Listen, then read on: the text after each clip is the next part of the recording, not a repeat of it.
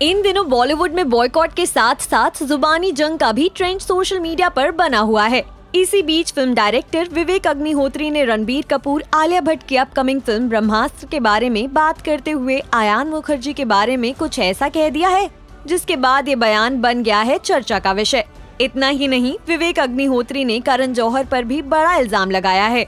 दरअसल हाल ही में दिए गए इंटरव्यू के दौरान विवेक अग्निहोत्री ने रिपोर्टेडली आयान मुखर्जी पर तंज कसते हुए कहा ब्रह्मास्त्र। क्या वो इसकी मीनिंग भी जानते हैं? और फिर वो अस्त्र की बात कर रहे हैं। वो भी क्या है?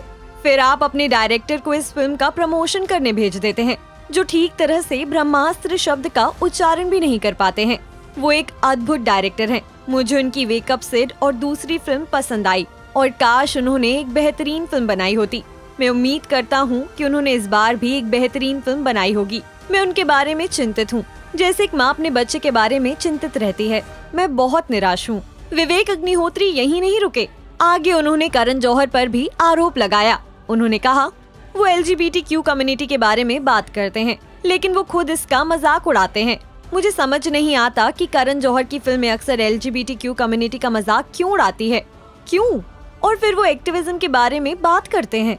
वेल बता दें कि रणबीर कपूर, आलिया भट्ट की फ़िल्म ब्रह्मास्त्र 9 सितंबर को बॉक्स ऑफ़िस पर रिलीज़ होगी। फ़िल्म कितना कमाल कर पाएगी, ये तो देखने वाली बात है। खैर, विवेक अग्निहोत्री के इस बयान के कारण करण और आयान मुखर्जी का क्या रिएक्शन होगा, ये काफ़ी इंटरेस्टिंग है। और अगर ऐसा कुछ होता है तो इस बयानबाजी में नया मोड़ देखने को मिलेगा।